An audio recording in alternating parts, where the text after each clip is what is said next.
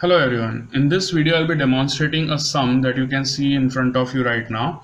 We will be adding 18 three times and then we'll be subtracting 39 from it. Now in this situation the interesting part is the addition of 18 each time is uh, to be done using a different method or different formula.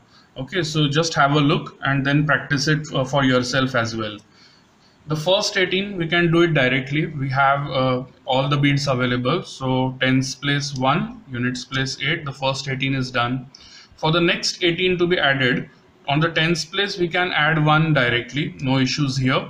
On the units place we need to add 8 using its big friend formula. So minus 2 plus 10 minus 2 and plus 10 so the second 18 is done.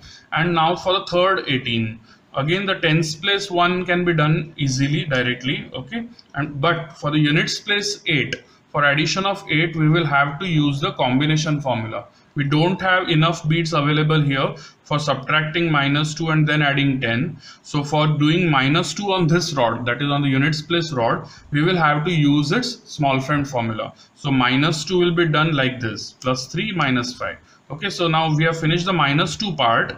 Now we are we need to add 1 on the next left rod to complete the plus 10 part. Okay so for plus 10 on this rod that is addition of 1 on this rod we will have to use the small friend formula of plus 1 which is plus 5 minus 4 okay now we have finished the uh, addition of third 18 as well. Now the last number is uh, subtraction of 39 for subtraction of 39 on the tens place we need to subtract 3 which will be done using its small friend formula plus 2 minus 5 okay? And on the units place for subtraction of 9 we don't have 9 available for subtraction. So we'll think of its big friend formula which is plus 1 minus 10 but for plus 1 we don't have a single bit available for addition.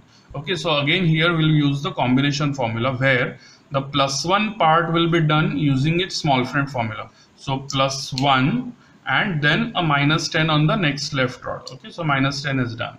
So we have finished the subtraction of 39 as well and the final answer that we are left with is 15 okay so please do try this out and similar kind of sums where you might be needing to use uh, different kinds of formula in different situations. I have uh, placed several examples uh, in the links given in the description of this video.